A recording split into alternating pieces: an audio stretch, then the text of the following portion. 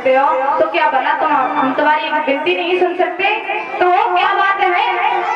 तो राजा हरिश्चंद्र की आँखों में आँसू आकर के बोले हैं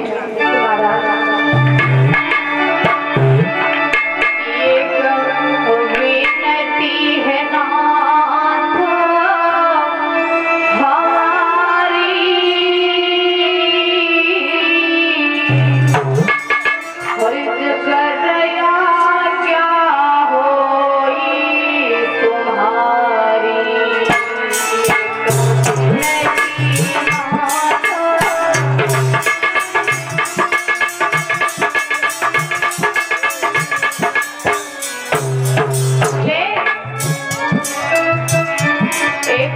एक बिनती नाथ हमारी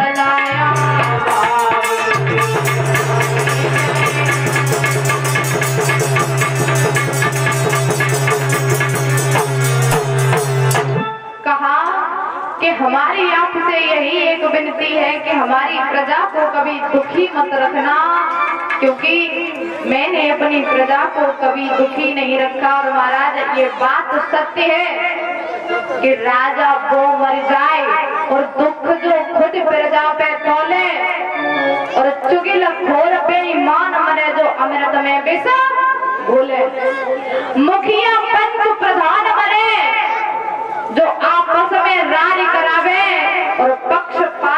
बात करे, जो नीति को नायक बनावे। राजा ऐसा मर जाना चाहिए, जो अगर अपनी प्रजा को प्रजा के पुत्र के समान नहीं रखती, वो उस राजा का कोई हक नहीं राजा रहने का। मुखिया को, पंच को, प्रधान को मर जाना चाहिए, जो नीति को छोड़ करके कुरीति को अपना रहा है। ऐसे पिता को मर जाना चाहिए, जो बेटे को नहीं पढ़ाता है। ऐसे बेटे को मर जाना चाहिए जो बाप की सेखी शान को घटाता है और ऐसी बहन को मर जाना चाहिए जो सिर से कुल की नाक कटा दे।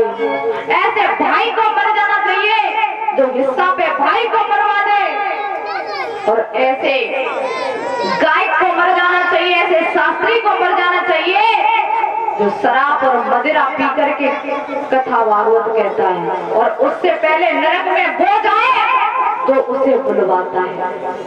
ये कथा भगवान की है और इस पर अगर हम दारू मदरा मांस का खा करके अगर कथा को सुनाएँगे, हमारा इसमें कोई धर्म नहीं है कथा करवाने का धर्म नहीं है कथा कहने का भी कोई धर्म नहीं है आज महाराज हरिश्चंद्र समझाने लगे हैं कि मैंने अपनी प्रजा को कभी दुख नहीं दिया कष्ट नहीं दिया तो हाथ जोड़ करके मेरा यही आपसे निवेदन है कि मेरी प्रजा को कभी दुखी मत रखना।